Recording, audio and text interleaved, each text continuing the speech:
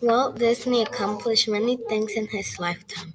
Walt Disney was born in Chicago in 1901. His family moved in a farm in Missouri. He liked drawing animals that were on the farm.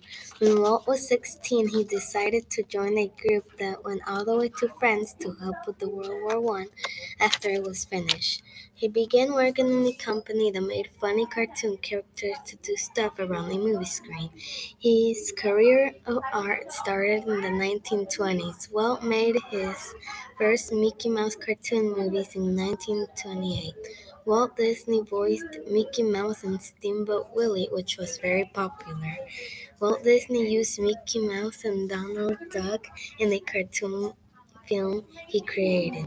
Walt Disney decided to open Disneyland theme park in 1955. He also created a show for kids called the Mickey Mouse Clubhouse.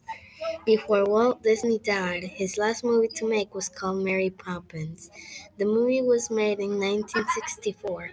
Apparently, two years later, in 1966, Walt Disney died.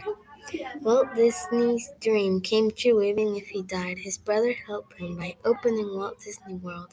Walt Disney World was opened in 1971. Even if Walt Disney died, all of the stuff he did is still popular in the past and in today's days.